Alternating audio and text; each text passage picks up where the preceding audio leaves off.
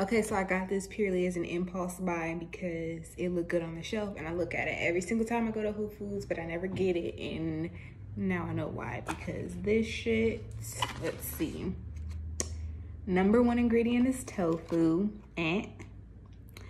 Number two ingredients is soybeans. And number three, calcium sulfate. Don't even know why that's in there. So, um, yeah, I just got this to try it and hopefully it's good, but I... it smells good. Hold on. But it's like crumbly and falling apart. Um, see?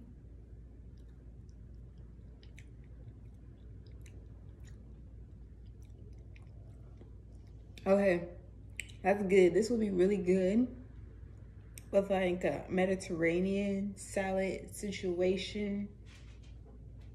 Mmm, yes. All right, this is what we're working with. Let's try it.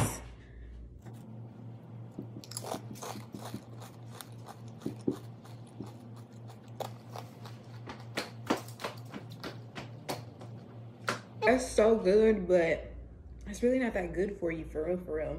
So, you know, to each their own.